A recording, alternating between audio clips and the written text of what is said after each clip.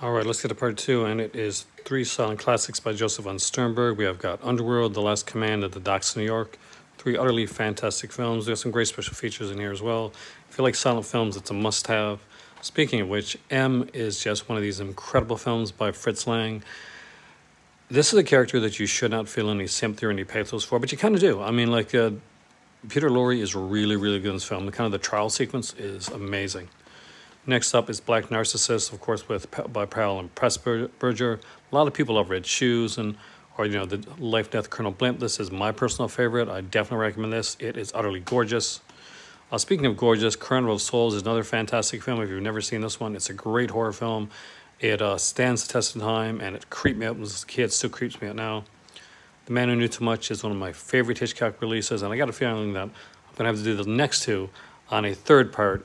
So this is going to be three parts rather than two. But uh, if you haven't seen this,